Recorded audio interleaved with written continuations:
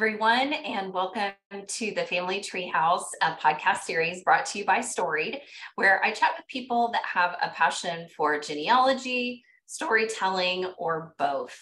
I am your host, Heather Honert, and I am so excited today to have a guest all the way from the UK.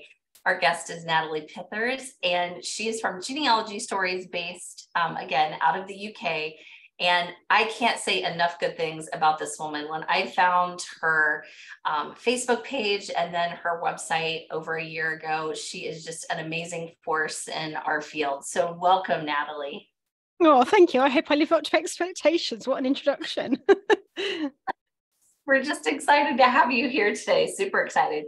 So, Natalie, let's start by why don't you tell us how you kind of got your start in in family history and storytelling in general?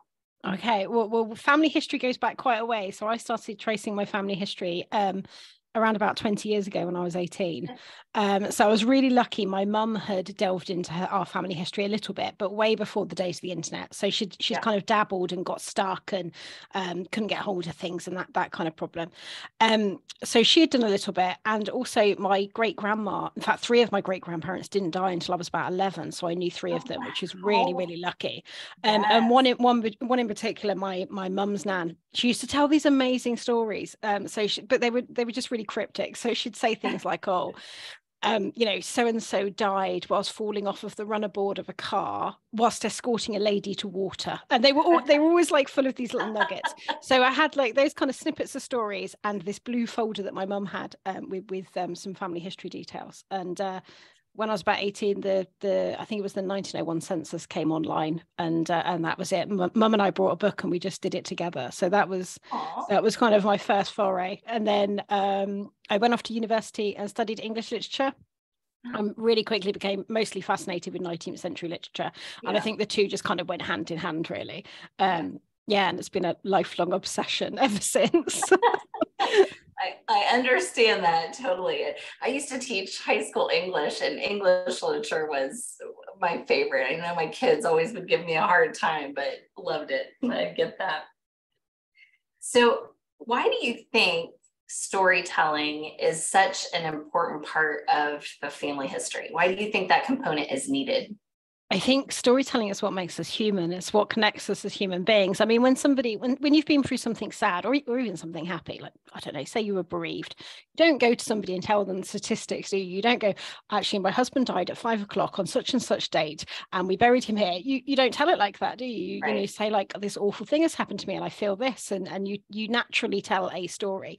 Um, so I think it's, it's, um, it's therefore kind of logical that how we connect with the past and how we connect to people um, in the past would, would, follow the same logic in that it, it, has to be told in the format of a story. Because if you just sit there and list facts you, have lost people. And people don't live their life as a list of facts do they? We're all com- complex individuals and storytelling allows for that complexity i think. Yeah yeah. A, a great that was a great analogy. I love that. Thank you how, how do you go about writing a story when when you've got in your head a certain you know ancestor that you want to tell a story about what what kind of process do you go through Oh gosh, well, everybody's different, and I don't think there's one process that fits everybody. I think everybody. Some people just want to dive straight in there. I'm a bit like that. I like to kind of dive dive in there and just start writing and then I kind of play around and put it in order. Some people it works to really plot it out. But what I would say is really consider your audience because I think that that that drives a lot of it. So and when I say that, I don't just mean who's reading it, but what you want them to think and feel. So what the message is of the story that you're you're writing. So when you come to tell somebody about your ancestors, if they could only go away with one thing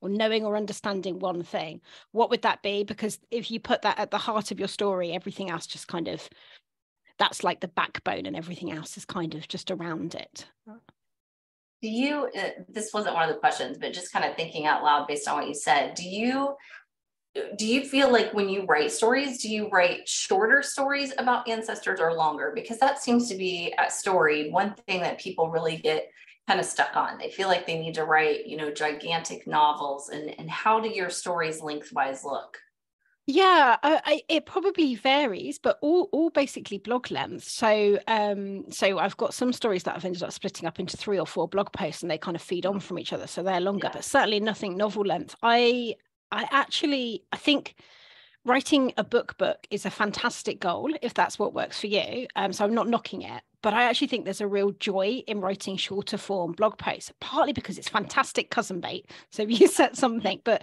but also because as family historians, we're always learning. We're always like reading a bit more about the history of the time in which our ancestors lived, or finding that extra genealogy document. And when you do it in a kind of shorter blog format, it allows you to go in and um, and add those details as you find them. So you're not being held back by your own research desire and then never writing anything. right. Well, and I think that happens so often. I hear so many people say that, you know, that's kind of their lofty goal is to write that biography or, you know, of, a, of an ancestor, and they just can't ever get started because it's such a, you know, such a daunting task to write that. Yeah, much. I think I think it's too big. I think um if you've never written anything that length before just just start out with short articles because you could always collate them and make them into a longer um a longer form book or into one story yeah absolutely um, do you have recommend any uh, resources or tools for somebody that's just kind of starting to get into researching and writing their their family stories? Is there anything out there that you really kind of gravitate towards? Um, well I don't know about resources or tools so much, but one thing that I would say is I think it's been completely invaluable to me when I come to write up my family history is using newspapers. Okay. So uh, using newspaper articles to find out what the weather was like and what people were gossiping about and where the local pub was and all those kind of little little nuggets. So really diving deep into newspapers. Um, and depending on where you are, that can be done in different ways. But there's there's lots of fantastic resources that have um, you know like Google Books and the Internet Archive that have old historic texts. So even if you can't access newspapers, there might be an alternative by looking at um, historic out of print, um, free copyright type books. Whenever I get in, newspapers are my favorite. And that has definitely been a common theme with um, our guests that newspapers are, are good. But I find that I just get down that rabbit hole of those newspapers and just I'm lost for hours. oh, I have a whole article on how to set rabbit hole, what I call rabbit hole tethers. So they're like, so they kind of like allow you to go down that rabbit hole, but with a couple of things like really small things like making sure that when you close your browser, everything's bookmarked. Um, using a, a, a um, like a note taking tool like Notion, so you can kind of clip and dump things in. So that yeah, I kind of believe in. I, I fall down a lot of rabbit holes, but I do. I've tried to set myself more tethers because I also get quite frustrated if I spend all of my time in rabbit holes and then at the end of the week go, oh, I've forgotten to write anything down. I am definitely making a note of that. I'm gonna hmm. I'll, I'll get that blog post and I'll uh, I'll link it to our um, to our our video here. Oh, That's oh, lovely. rabbit hole tethers. I'm going to use that now. um, um, next question. This one's kind of a interesting question that people feel strongly about, um, usually in one way. How do you balance the importance of accuracy in your story um, versus kind of telling that compelling story? How do you try to marry those two?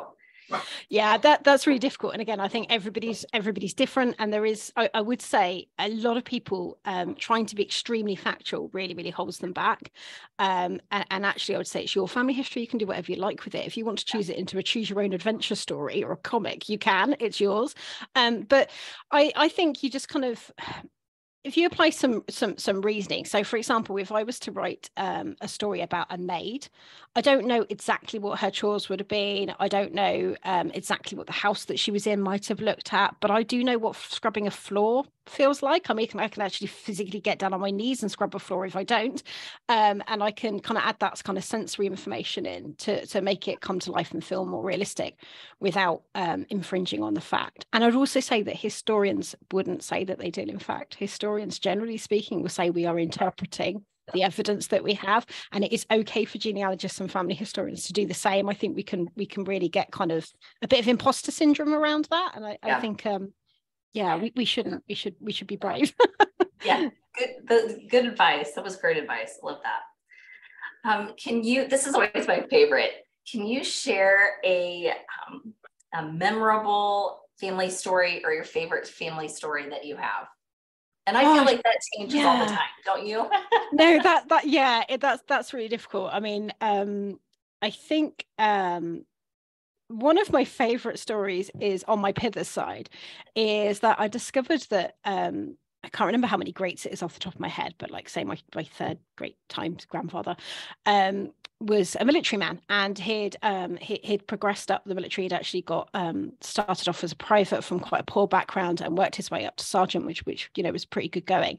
Um, and he'd he'd got that promotion partly by um, detaining and uh, catching a um, a deserter. Um, so I often wonder how he would have felt when his daughter eloped with a man who had who who was also a military man and had quite a nice military career, but apparently uh, absconded and deserted the army in order to marry this man's daughter. And I quite and they went on to have like 15 children together in, in a very very poor part of London. So I'm sure life was a struggle. But her brother lived nearby, so they she was obviously still in touch with her family. And I quite often think, yeah, I wonder how that went down at the dinner table. Eliza's gone, and you'll never guess who she's gone with. Um, so that's one of my favorites. Well, it makes me think. I kind of mentioned when we started how I found you. Tell us a little bit about your your reclaim Jane challenge. Jane. I, just, I love yeah. Uh, so Jane is probably one of my favorite ancestors um, of all time, really, and yet I know extremely little about her. So I was always told when I was young that um, from, on my dad's side that that we had uh, royal blood in us somehow, like the the, mm-hmm. The, the king of France had um, had had a baby with a maid and and we were like descended from this illegitimate child. And when i looked into my family history i found that there was an illegitimate baby and he had this really unusual surname that he was using as a middle name de crespigny and then I did some more digging and I found Jane Lovegrove, um, 16, alone, uh, a maid in the household of a man who was a, a, a reverend. He was later defrocked, um, who was about 50 and she was like his only servant living there and his name was heaton de crespigny.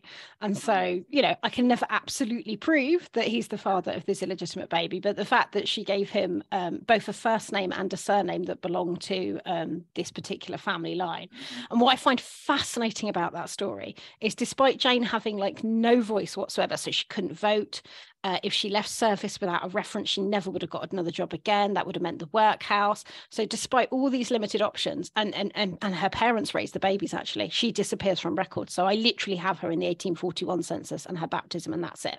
So, despite that real scant information. What fascinates me is this was obviously so important to the family because not only does he does her baby have this name but it passes down several generations.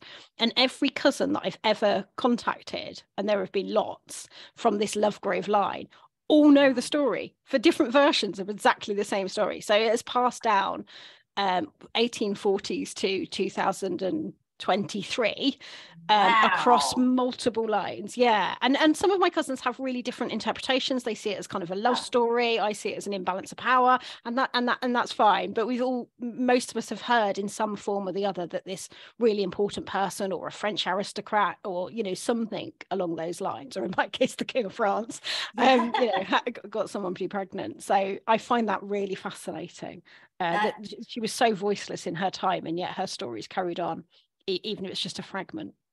That that's incredible to me that there you know mm. that many people and have told that story in different ways. That's amazing that it's gone on for that long. Uh, yeah I, I, think so. Yeah it, it's incredible. I love that challenge that you created. So i definitely encourage our listeners to check that out because um, it's it's really cool. I, we all have i think those ancestors one you know female buried in there that we just you know don't know much about and, and yeah kind of yeah i kind of think those those ancestors i mean you quite often find ancestors where all you'll find of them i, ha- I have one of the mem- my members of my curious descendants club uh, she found an ancestor and all she found was um, she didn't even find their name it literally is just got wife of Swinton buried in such and such place. And she's written a whole blog article about this person by just by looking at the history of the time that they lived in. So some of it is kind of, I wish I knew this, and then it kind of yeah. uses it as a way of exploring history. But I love that because it's they're not lost then, are they? They're, right. they're in some small way remembered, which feels so important. Yeah. I, I, love that you said that they're not lost. I, that's what's important to me. You know, when I tell those stories of of people that you know their their voice is still heard, even yeah, know, years later. So. Yeah, I think we've got like a real innate drive to there's something really human about wanting to be remembered. I was I was walking down the beach the other day and there were rock cliffs and people had been carving their names in it. And there was one from like 1948, and then there was some like, you know, Lucy loves Stephen in the in the rock kind of thing from 2013. I thought, what is it about humans that we want to put something, etch something on somewhere? So if yeah. we can give that to somebody in the past, how wonderful. Yeah. Yeah, that's great. Um, kind of to wrap up here, what and any trip tips or tricks or pieces of advice or wisdom you have that you would like to leave with our, our audience today? Yeah, just right.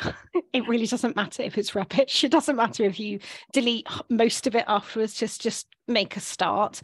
And one of the ways that you could do that is um, think of a fact like your ancestor being um, baptized and then think about um, some of the sensory information that would go around that. So like how cold was the water? What was inside the church like? What does it feel like to sit on a pew? And use that as your starting base to just at least add a bit more sensory information around those um, facts because that in itself will bring it to life a little bit more even if that's all you do.